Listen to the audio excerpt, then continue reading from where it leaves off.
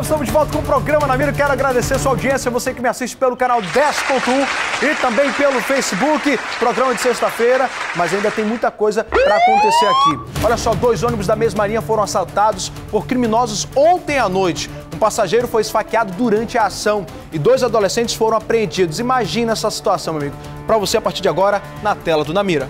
O ônibus com as luzes apagadas dentro do terminal de integração 3 é da linha 448. Ele foi alvo de criminosos na noite desta quinta-feira, na zona norte de Manaus. Mas ele não foi o único.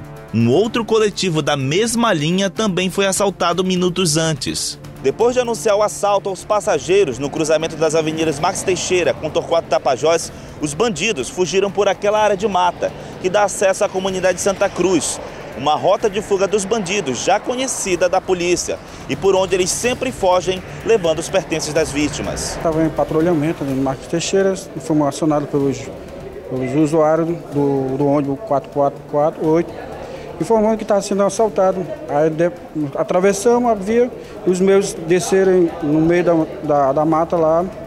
Aí no caminho lá fizemos incursão junto com o pessoal da 15ª Circular, o Tenente Carvalho, e conseguimos localizar essa mochila com vários celulares que estavam dentro da mochila. No roubo, um adolescente de 15 anos que voltava para casa foi esfaqueado. Por motivo nenhum, fui esfaqueado. É, inclusive, eles tentaram me esfaquear novamente, mas não aconteceu nada. Tu não reagiu e foi esfaqueado assim mesmo? Sim, sim. Enquanto as vítimas registravam o caso na delegacia, chegou a notícia que dois suspeitos haviam sido detidos. Os adolescentes foram encontrados em posse das facas e uma arma falsa, usadas no assalto. Eles foram levados à delegacia especializada, onde responderão por ação análoga ao crime de roubo majorado. Minha gente, que, que situação que o, o trabalhador, o estudante, o pai de família estão passando aqui no Amazonas. Que situação, cara. Isso é deprimente, sabe? Isso é vergonhoso pelo pro poder público nada está sendo feito, né? Quando tem a operação, a gente mostra, a gente elogia, mas minha gente, a, gente tem, a polícia tem que intervir de alguma forma. Não dá mais para continuar do jeito que tá, meu povo.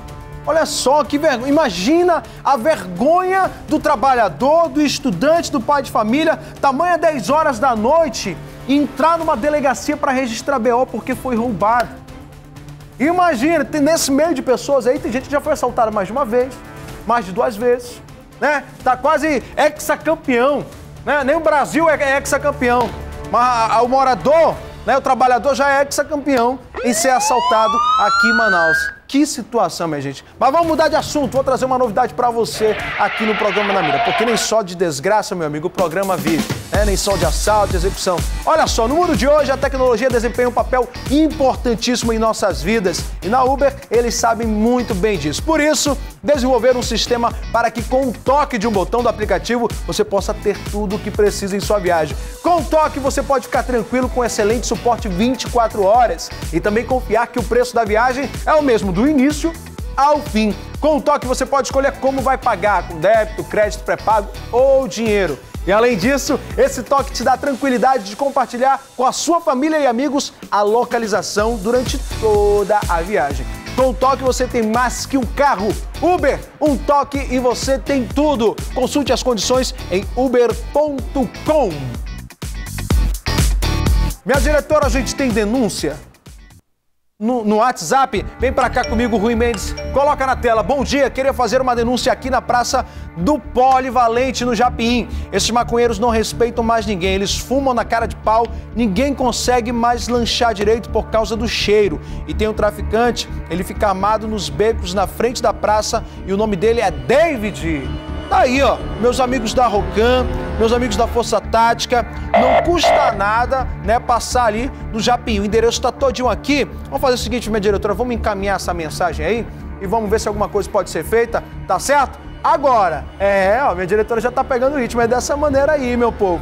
E eu quero pedir para você, minha gente, continuar acompanhando a gente pelo Facebook e também no canal 10.1, porque olha só, Rocan prende um empreendedor do mal por tráfico de entorpecentes e posse irregular de arma de fogo na zona oeste da capital. Mariana Rocha tem mais informações. Vem, Rui, vem, coloca na tela.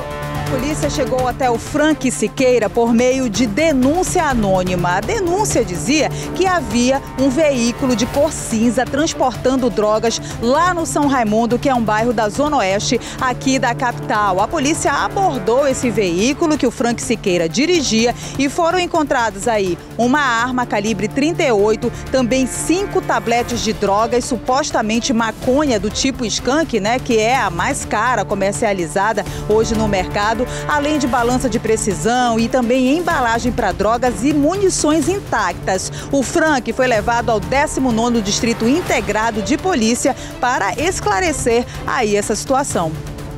Alô, povo de Iranduba, vocês conhecem o Frank? O Frank se candidatou para vereador lá na cidade de Iranduba. É. E olha que coisa bonita. Olha o que, que ele ia distribuir pro povo. Coloca aí, minha diretora. Coloca aí, Gesiel, só a imagem da droga.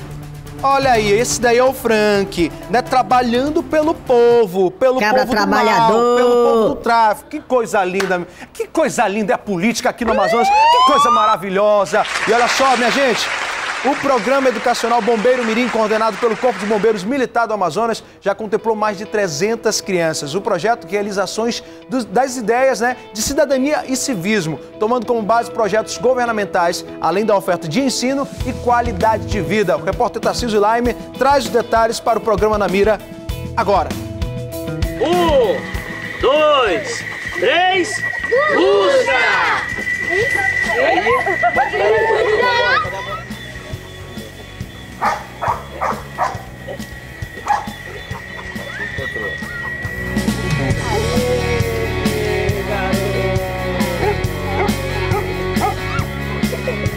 Pequena Lara, de 10 anos, disse que sente muito orgulho de poder participar do programa e já sabe o que quer fazer da vida quando crescer. Sinto muito orgulho dessa camisa vermelha, eu quero honrar ela e quero ser uma das melhores do Bombeiro Mirim.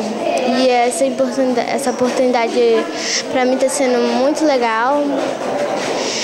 E quando eu crescer eu quero ser bombeira, uma bombeira.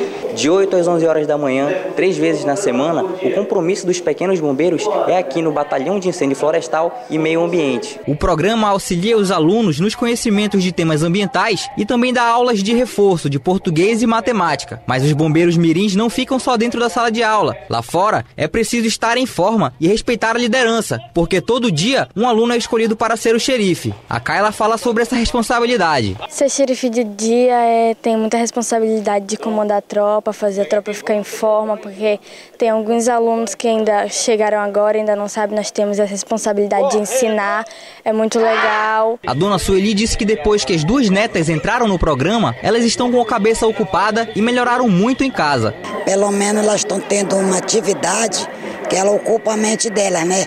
Porque na situação que elas estão, elas são mais adolescentes, então não tem tempo. Elas de manhã elas vêm para o curso e à tarde elas vão para a aula, mas melhorou muito, né? Um dos pré-requisitos para as crianças se manterem no projeto é estarem matriculadas nas escolas e com boas notas. Major Américo Neto disse que o foco é proporcionar um pouco de bem-estar e evitar que os jovens entrem para a criminalidade. buscar essas crianças na comunidade, trazer elas até a gente e aqui com, com a gente trabalhar diversas disciplinas, mas a principal disciplina, ética, moralidade, entre outros.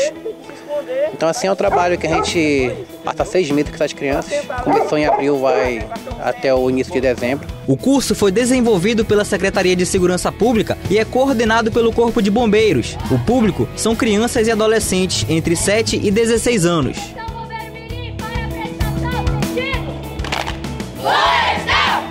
Parabéns ao Corpo de Bombeiros do Amazonas. Olha só, tem gente que pergunta mas, eh, muitas das vezes o que o Corpo de Bombeiros vai fazer no programa na mira. Minha gente, é segurança pública, tá? O Corpo de Bombeiros é também coordenado né, pelo secretário de Segurança Pública, então faz parte e não custa nada mostrar projetos como esse aqui que possam incentivar a criança e o adolescente né, para saber o que realmente eles precisam e o caminho onde eles devem andar. Traz para mim aqui, temos a denúncia no WhatsApp para fechar o programa desta sexta-feira. Não é não, minha gente. Olha aí! Minha gente, quero. Minha gente, hoje eu tô fazendo seis meses de casados com a minha esposa. Né? Seis meses de muita coisa boa que Deus tem acrescentado na minha vida e na vida dela. E é com essa imagem aqui que eu quero né, parabenizar minha esposa e a mim também e dizer para você que está em casa, sonhe, sonhe grande que as coisas vão se realizar, né? E olha só, como é dia de festa, como eu estou comemorando, o agora também vai começar com festa. Então, meu povo, fiquem com Deus e até segunda-feira. Tchau!